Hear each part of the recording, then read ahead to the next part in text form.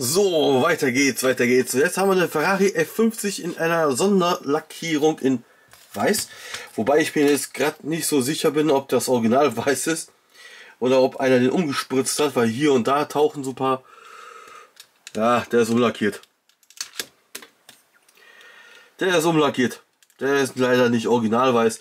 Aber er kam jetzt hier auf den Schrott, weil. Was war das hier? Windschutzscheibe war defekt. Hier war ein Lackschaden. Ja, da war ursprünglich mal rot.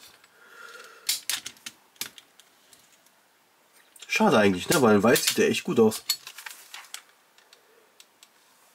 Aha. Schickes Ding. Tja, aber leider dem Tode geweiht. Ach nein, der hat einer versucht, mit einem roten Edding danach zu malen. Ach je, seht ihr das? Das ist rosa, ne? Oh Mann. Ah komm, wir geben dem jetzt mal den Todesstoß. Da R50. Was ich persönlich hervorragend fand von Burago. Das, also erstmal bevor wir jetzt anfangen zu zerlegen. Die positiven Dinge. Er hat Gurte. In den Fußmatten sind kleine Ferrari-Embleme drin. Aber das jetzt zeige ich euch gleich, wie ich ihn zerlege. Man kann alles öffnen. So. Er hat einen Haubenaufsteller, der sogar funktioniert.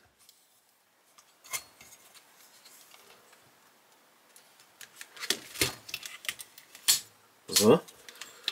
Also Burago hat hier wirklich, wirklich gute Qualität abgeliefert.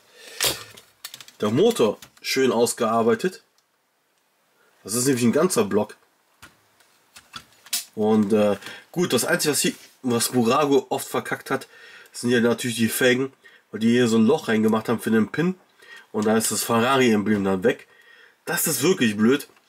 Oder dass die Türfalzen und so alles nicht auslackiert sind. Und normalerweise sind die hier drin auch nicht auslackiert. Ähm, ja, das haben sie wirklich nicht so toll gemacht. Und natürlich Massenprodukt. Ganz einfach. Aber man muss aber auch ehrlich zugeben, für das wenig Geld, was er kostet, der kostet im Schnitt, je nach, der, nicht jetzt der weiße, aber so ein F50 kostet im Schnitt zwischen 5 bis 20 Euro. Die neu, es gibt jetzt auch inzwischen eine Neuauflage, die ist äh, um die 50 Euro, qualitativ auch ein bisschen besser, also besser auslackiert und hier und da, aber im Grunde immer noch das gleiche Modell. Inzwischen ist ja Burago chinesisch, nicht mehr italienisch. Auch nicht mehr designt in Italien, gar nichts mehr. Italien ist durch. Was ich hervorragend fand, was leider Burago aber nicht weitergeführt hat, ist diese Informationstabelle, die hier unten drunter steht. Zum Beispiel steht hier 325 km/h und 0 auf 100 in 3,8 Sekunden, 1230 Kilo schwer, 520 PS, 12 Zylinder, 4,7 Liter. Warum die das nicht mehr weitergeführt haben, ist für mich absolut schleierhaft, weil das war eine hervorragende Idee von Burago. Das hätten sie ruhig unter jedem Burago knallen können. Und das wäre einfach nur perfekt gewesen. Und Burago wäre wahrscheinlich heute immer noch in Italien. Ne? Aber so ist es.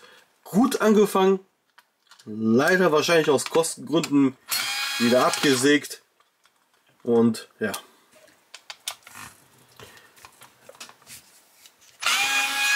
Leider. Leider, leider, leider.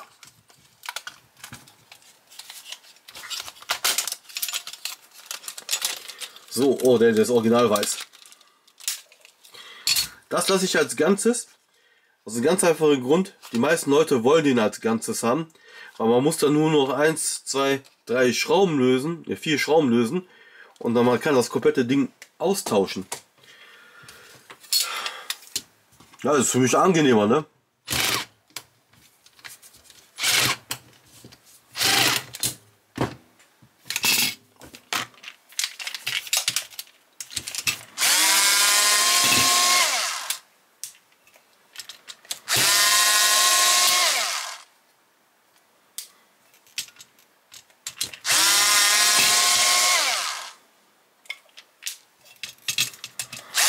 Das Gute aber auch ist, man kann den ganz leicht vom Cabrio zum Coupé umbauen.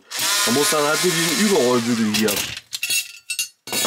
Den hier gegen das Hardtop austauschen. Und fertig. Passt. Habe ich selber schon ein paar Mal gemacht.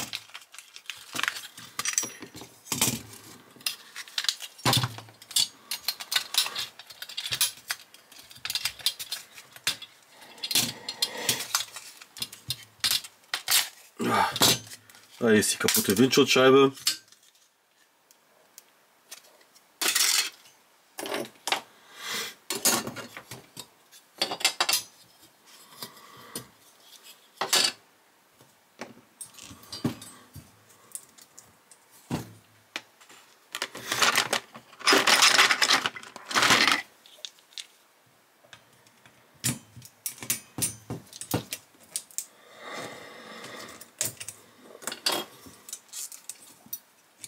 So.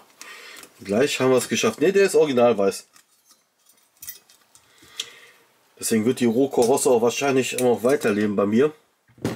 Da wird es wahrscheinlich irgendjemanden geben, der die wieder aufbauen möchte.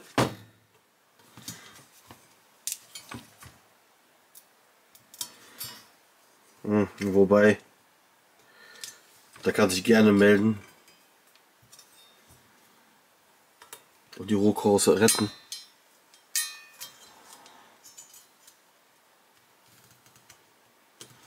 Mal gucken. So. Fertig.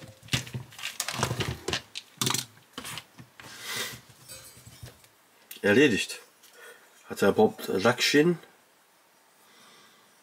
Ist ein bisschen unsauber lackiert, aber sonst. Ja, mein Fazit. Ihr kriegt für wenig Geld ein hervorragendes Modellauto. Das eigentlich im Prinzip keine Wünsche, Wünsche offen ist. Gut, man hätte sich vielleicht einen Teppich gewünscht, ne? aber das ist ja Pillepalle. Ne? Aber sonst ist das echt ein hervorragendes Modell, was Burago hier abgeliefert hat. Man kann wirklich rein gar nichts Negatives sagen. Ähm, doch, ja gut, das mit der Felge, ne? Das. Aber ansonsten wirklich ein hervorragendes Modell für kleines Geld zum Verschenken, ohne, ohne Sorgen zu haben, dass was man Blödes verschenkt. Man gibt hier echt was Gutes weiter. Also ich kann hier wirklich nichts Negatives. Preis-Leistungs-Verhältnis ist ein Traum. Ein Traum. Im Schnitt kostet das Ding 10 Euro, 10, 15 Euro. Bei mir im Shop gibt es rote. Ähm, die kosten, glaube ich, wie gesagt, 10 oder 15 Euro, weiß ich jetzt nicht aus dem Kopf. Auf jeden Fall nicht teuer. Und die kriegt wirklich ein Top-Modell für wenig Geld. Und das ist doch das, was wir alle wollen. Wenig ausgeben, viel bekommen. Wollen wir alle. Sogar ich. So. Dankeschön fürs Zugucken. Schreibt in den Kommentaren, wie ihr das Modell empfandet. Und ja, ich hau mal rein. Ne? Bis zum nächsten Mal. Ciao.